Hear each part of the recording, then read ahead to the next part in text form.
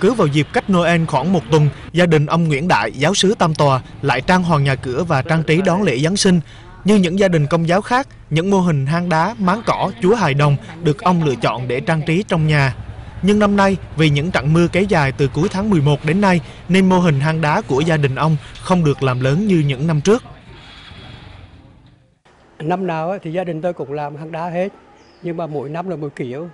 Năm thì kiểu này, năm kiểu nọ nữa, tùy theo cái hoàn cảnh. Năm đây trời mưa quá, gió quá, thành ra làm nhỏ nhỏ thôi. Đó, và cũng chưa kịp à, để mà, mà trang trí nhiều. Do mưa kéo dài khiến việc trang trí ngoài trời tại các giáo xứ cũng bị ảnh hưởng ít nhiều. Nếu như vào thời điểm này các năm trước, hầu hết các kiệt hẻm tại giáo xứ Tam Tòa đều được lên đèn trang trí rất sớm.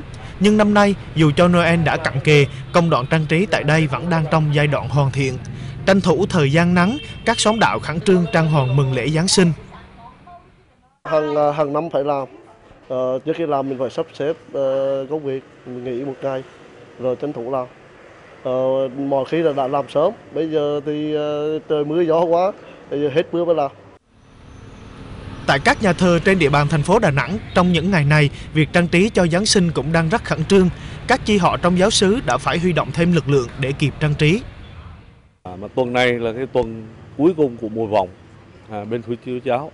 Thì tất cả à, những à, người Kitô hữu là trước hết để trong tấm lòng nó phải à, sám hối xưng tội à, để đền tội để đón nhận cái sự cứu chuộc của Chúa. Thì Chúa nhập thể làm người để cứu chuộc chúng tôi. Rồi sau đó chúng tôi tranh thủ à, làm hang đá trang trí ở nhà. Rồi à, để mà tất cả những ngày gần đây nhất là thời điểm này để chuẩn bị à, cái ngày đại lễ Giáng sinh tới đây. Bất kỳ lớn nhỏ chuyện như là lồng đèn sân khấu trang trí là mọi sự là anh em rất hoàn tất nhất là giới trung niên giới thanh niên rất là nhiệt tâm trong cái vấn đề ừ, mừng lễ Giáng sinh 2016 Với người công giáo, lễ Giáng sinh là một trong những khoảng thời gian trọng đại của năm. Khẩn trương trang hoàng đón Giáng sinh, đồng bào công giáo đang hướng đến một Giáng sinh an lành, hạnh phúc. Không khí Giáng sinh đang về trên khắp nẻo phố phường, nhất là ở nơi các xóm đạo.